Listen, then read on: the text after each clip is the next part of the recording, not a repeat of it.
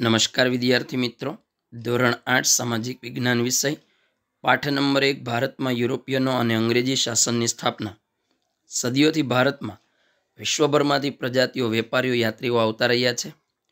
ભારત હંમેશા વિશ્વના આકર્ષણનું કેન્દ્ર રહ્યું છે. એનું મુખ્ય કારણમાં મુખ્યત્વે ભારતની આર્થિક સમૃદ્ધિ રહેલી છે.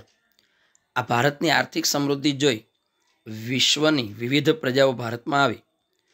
પ્રાચીન કાળથી હડપ્પીય સભ્યતાથી વિશ્વના વિભિન્ન ભાગો સાથે ભારતનો વાણિજ્યિક અને સાંસ્કૃતિક સંબંધ રહ્યો છે. ઈસવીસનની પંદરમી સદીમાં યુરોપમાં નોંધપાત્ર સામાજિક અને ધાર્મિક પરિવર્તનો થયા, જેને આપણે નવજાગૃતિ તરીકે ઓળખીએ છીએ. આ નવજાગૃતિ કાળને અને ભારતના ઇતિહાસને કોઈ સંબંધ ખરો?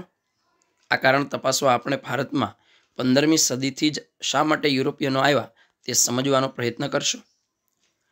ભારતમાં યુરોપિયન પ્રજાના આગમન પાછળના કારણો.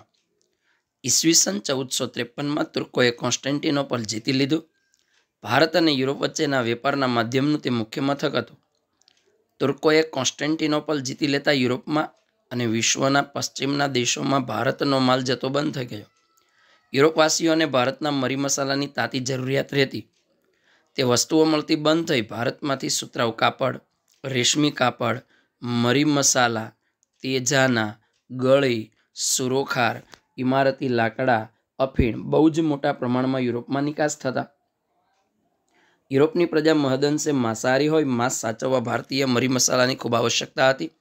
વળી સુતરાવ કાપડ પણ એટલું જ આવશ્યક હતું. પરિણામે યુરોપિયન પ્રજાએ જમીન માર્ગે થતો વેપાર બંધ થતાં નવા જળમાર્ગો શોધી ભારત સુધી પહોંચવાનો પ્રયત્ન આદર્યો.